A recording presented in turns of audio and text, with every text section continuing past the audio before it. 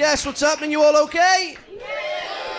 Brilliant. I'll be honest with you, right? I'm, I'm from Liverpool. Oh, some fans of knife crime in there. Uh, I'm from a, I'm from a notoriously rough part of Liverpool. Uh, you might have heard of it. It's called Liverpool. Nice one, lads. It's good. Yeah, yeah, yeah. I'm from a I'm from a town called Huyton, right? And to give fucking hell, mum, mum, no, no. Uh, I'm from a town called Huyton. To give you an idea about Huyton, right? The tallest building in Huyton is the job centre. It was the tallest building in Huyton. Uh, it had to close down because they couldn't find the staff. Doesn't really bode well for the old career prospects when you walk in and you're like, "Have you got any jobs?" And they're like, "No, lads, have you?" But I live in I live in I live in East London now. I live in Dalston. Do you all know Dalston? Yeah. it's absolutely class, multicultural. Every gender, creed, nationality, and sexuality have all come together in Dalston to have one big fight at a kebab shop.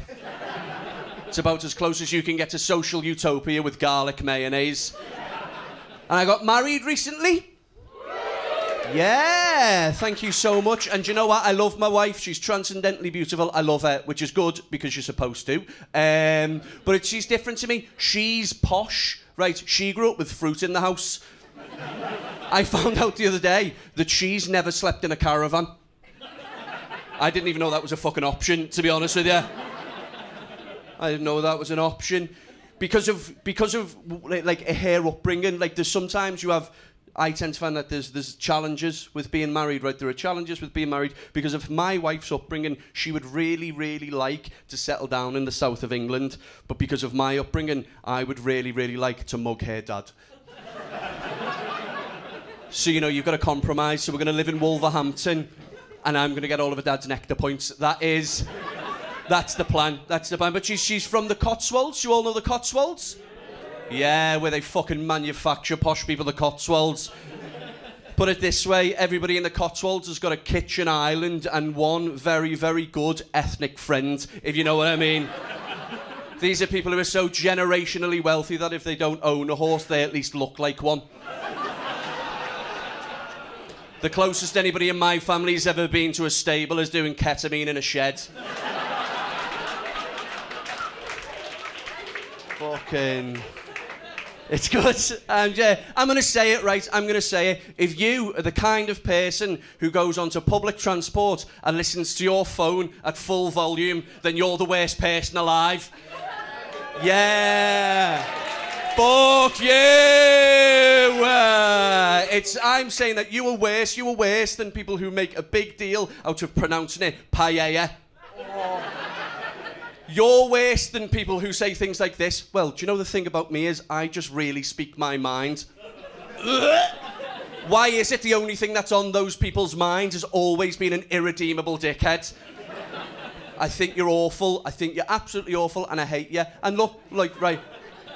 I'm going to be honest with you, right? This happened to me recently. Uh, people think that London is an unfriendly place. They say London's an unfriendly place, and I don't think London is an unfriendly place. I think London is an only an unfriendly place if you do something really stupid and really dangerous, like make direct eye contact with someone. That's it. That is it, right? And I was on the number 55 bus recently because comedy is going very well. And and someone did this. And look, the 55 bus is my favourite bus in London because it goes fucking everywhere. It goes from Walthamstow to central London via Leeds, right? and this lad got on the bus, right, and he started watching videos at full volume of people shooting pieces of meat with real guns. You know, like a normal person would. How would I describe this lad?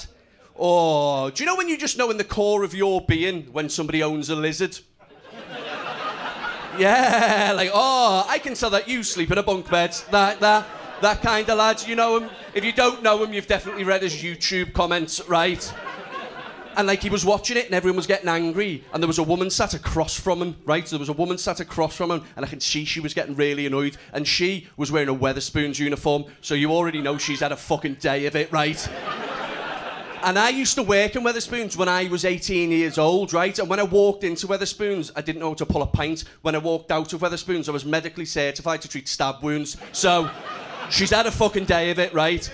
And what happened was, The lad was watching it. She tutted, got his attention. He looks up, stares at her for like 20 seconds, goes back to his phone. The woman, calm as you like, leans over and just slaps the phone out of his fucking hand, right? Yeah, you best had clapper because she was terrifying.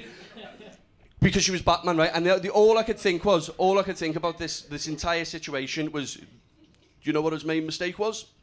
Shouldn't have made eye contact, should he? Shouldn't have made eye contact.